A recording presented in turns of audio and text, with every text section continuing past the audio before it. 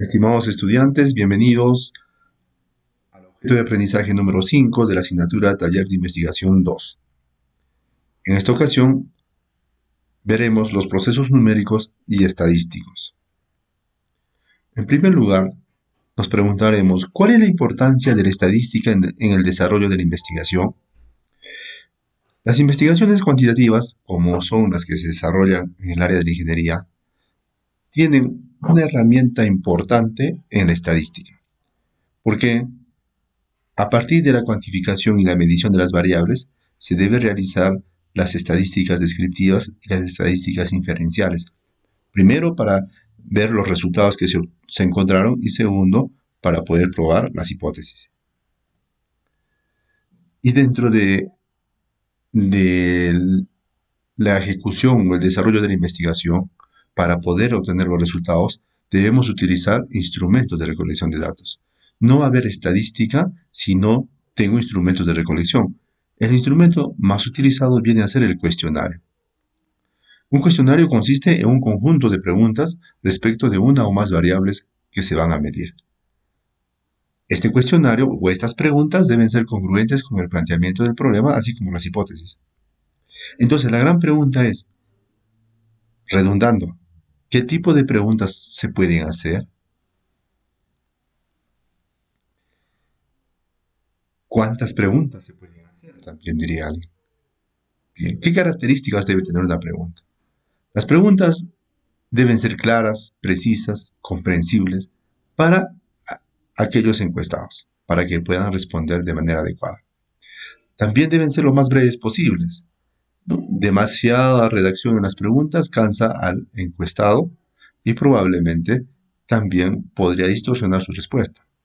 Deben formularse con un vocabulario simple, directo y familiar para los participantes, de tal manera que lo puedan entender inmediatamente.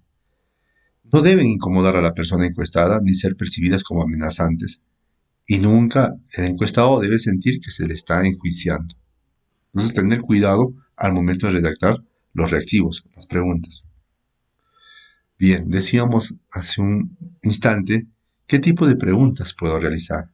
Básicamente tenemos dos tipos de preguntas, las cerradas y las abiertas. Las preguntas cerradas contienen categorías u opciones de respuesta que han sido previamente delimitadas. Es decir, las posibilidades de respuesta ya son presentadas a los encuestados, quienes solamente se tienen que limitar a ellos y marcar la que consideran conveniente.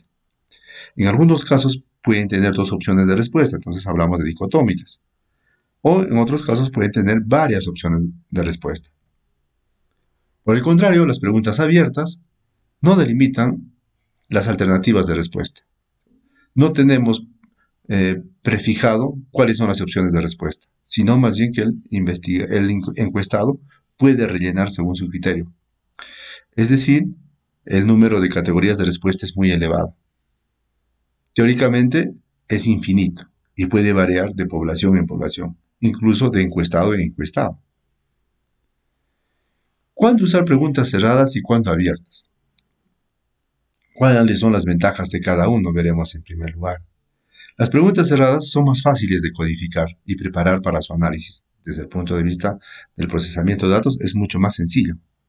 Asimismo, el encuestado va a necesitar un menor esfuerzo porque simplemente se va a limitar, a marcar, en el mejor de los casos, a rellenar un par de, de letras. Las preguntas abiertas tienen la ventaja de proporcionar una información más amplia y son muy útiles cuando no se tiene información sobre las posibles respuestas. Cuando no hay información previa de las posibles opciones de respuestas, entonces con las preguntas abiertas vamos a tener eh, una gran ventaja respecto a las preguntas cerradas. Entre las principales desventajas tendríamos que las preguntas cerradas limitan sus respuestas a las opciones que ya les damos.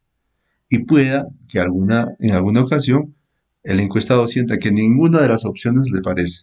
O sea, no está de acuerdo con ninguna de ellas, pero sin embargo tiene que marcar algunas porque no hay otra opción. En el caso de las preguntas abiertas, su mayor desventaja reside en que son más difíciles de codificar de clasificar y preparar el análisis. Por lo mismo que, como decíamos, hay múltiples opciones de respuesta, entonces ahora, ¿cómo sacamos un, análisis de todo? Un, una estadística de todas esas preguntas abiertas. Es más complicado, hay que codificarlo de alguna forma. Una vez que tenemos los datos, una vez que ya hemos recolectado a partir del cuestionario, también podríamos utilizar una ficha de observación, una hoja de registro, etc. El siguiente paso es el análisis de los datos. El análisis de los datos, el análisis de los datos podemos hacerlo utilizando software. Actualmente, prácticamente todas las eh, investigaciones se realizan con software. Ya hacer cálculos manuales no viene al caso. Entre los software más importantes tenemos el SPSS, Minitab, SAS, Stats, etc. Entonces, los análisis o los datos que vamos a llenar al software deben ser teniendo en cuenta el nivel de medición de cada variable. Y en función a ello, seguiremos los procedimientos hasta encontrar los resultados. También, en el análisis cuantitativo, vamos a tener tanto la estadística descriptiva como la estadística inferencial. En el caso de las estadísticas descriptivas, fundamentalmente tendremos tablas de frecuencia, gráficos, medidas de tendencia central, medidas de, eh, variabilidad, de dispersión. Para el caso de la estadística inferencial para la prueba de, hipótesis, podemos tener, en el caso de tener una distribución uniforme de la muestra, podemos utilizar los análisis paramétricos. Entre ellos tenemos el coeficiente de correlación, la regresión lineal, la prueba T, prueba de diferencia de proporciones, análisis de varianza, análisis de covarianza, etc. En cuanto al análisis no paramétrico, tendríamos eh, la prueba chi cuadrado, el coeficiente de Spearman y Kendall, los coeficientes para tabulaciones cruzadas, entre otros. Y también es muy importante mencionar acá el análisis multivariable. Bien. Dicho esto, a manera de, práctica, vamos a determinar los instrumentos de recolección de datos y el procesamiento estadístico más adecuado para la siguiente investigación. Si el título de esta investigación es Características de los sistemas de protección eléctrica de los edificios residenciales del distrito de Chilcahuancay 2020, ¿cuáles, ¿cuáles serían los instrumentos de recolección más adecuados? ¿Y cuál podría ser la estadística que vamos a usar? Vamos a determinar las características. Entonces, hay dos formas. Una, encuestando a los usuarios, ¿no es cierto? O a los administradores de los edificios, o al responsable del área técnica de los edificios, si se quiere, o el área de mantenimiento. Digamos un cuestionario y ellos pueden llenar, ¿no? Por ejemplo, tiene este interruptor termomagnético, de qué capacidad es, si tiene también un diferencial, eh, en fin, tiene sistema de puesta a tierra, Entonces marcarán sí, no, sí, no, los valores que queramos. El otro instrumento podría ser una ficha de observación. En todo caso, el investigador iría a cada edificio seleccionado y verificará, ¿no? Si tiene interruptor termomagnético y cuáles son sus características, tiene el diferencial, tiene el sistema de puesta a tierra, etcétera, etcétera. En cuanto a la estadística descriptiva, que se va a aplicar, ya que estamos hablando de que solamente determinar las características, tendríamos que hacer una estadística descriptiva. Entonces, podríamos utilizar tablas de frecuencias, gráficos y por ahí cálculos de algunas medidas. Por ejemplo, eh, media aritmética, eh, medidas de dispersión. Por ejemplo, el promedio, eh, el promedio de, las mediciones de las puestas a tierra de todos los edificios podría ser interesante, tal vez conocer. Va a depender del enfoque que le esté dando el investigador a, este tema de investigación. Bien, conclusiones. El instrumento más utilizado para recolectar los datos en una investigación es el cuestionario. Las preguntas cerradas son más fáciles de codificar y procesar. Las preguntas cerradas permiten obtener información más amplia. Las preguntas abiertas, sería en este caso, permiten obtener información más amplia.